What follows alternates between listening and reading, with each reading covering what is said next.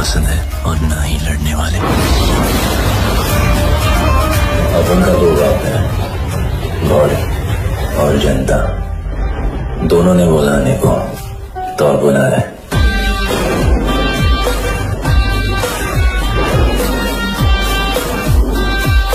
तैयार रहना।